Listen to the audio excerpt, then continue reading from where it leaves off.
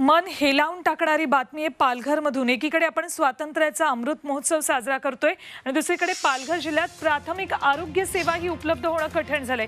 केवळ आरोग्य सेवा उपलब्ध झाली नाही त्यामुळे एका गर्भवती महिलेच्या जुळ्या मुलांचा दुर्दैवी मृत्यू झालाय. मोखाड्याच्या मरकटवाडीतली ही घटना आहे. या महिलेला आरोग्य सुविधा योग्य वेळेत मिळाल्या नाही. जवळपास तीन किलोमीटरची पायपीट करत मरकटवाडीतल्या ग्रामस्थांनी तिला डोलीतून रुग्णालयात नेण्याचा प्रयत्न केला. मात्र तोवर तिच्या जुळ्या मुलांचा अंत झाला होता. महिनाभरापूर्वी सुद्धा पालघरमधली अशीच एक घटना झी चोवीस तासनं दाखवली होती. मात्र अजूनही प्रशासन जाग झालेलं नाहीये. याच संदर्भात आपण अधिक माहिती जाणून घेऊयात. आमचे प्रतिनिधी हर्षद पाटील यांच्याकडून.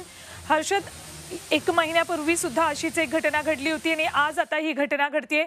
अजूनही याकडे लक्ष दिलं जात नाहीये प्रशासनाकडून. पालघर जिल्हा हा मुंबईपासून जवळ असलेला जिल्हा आहे.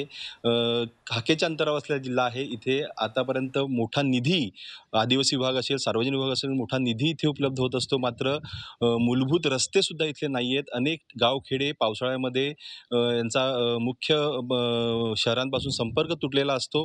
कारण इथे रस्तेच नाही आहेत एकूणच अनेक मोठ्या प्रमाणात निधी येत असताना सुद्धा इथले रस्ते होत नसल्यामुळे त्याचा परिणाम हा नागरिकांवर पडत असतो आरोग्य यंत्रणेवर पडत असतो. आणि त्याच्यातूनच ही हा प्रकार घडल्याचं समोर आलेलं आहे.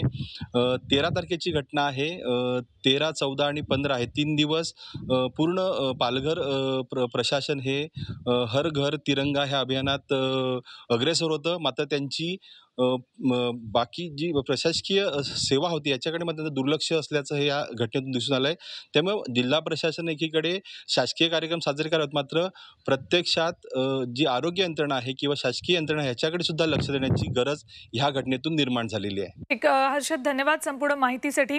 मुंबईपासून हाकेच्या अंतरावर आहे निधीही उपलब्ध होतोय पण तरीही रस्तेही तयार केले जात नाहीत आणि आरोग्य सुविधा सुद्धा या सगळ्या ग्रामस्थांपर्यंत पोहोचवल्या जात नाहीत. लाल मातीतली कुस्ती. म्हणजे?